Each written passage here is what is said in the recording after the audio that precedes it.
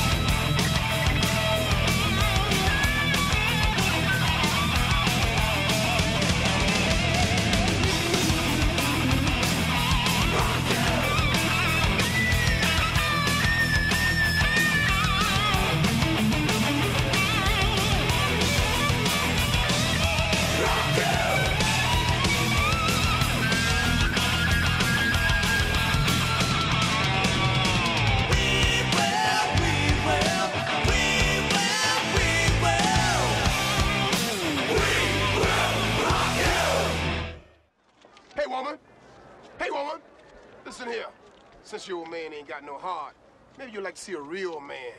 I bet you stay up late every night dreaming you had a real man, don't you? I tell you what, bring your pretty little self over to my apartment tonight, and I'll show you a real man. You want it? You got it. You got it.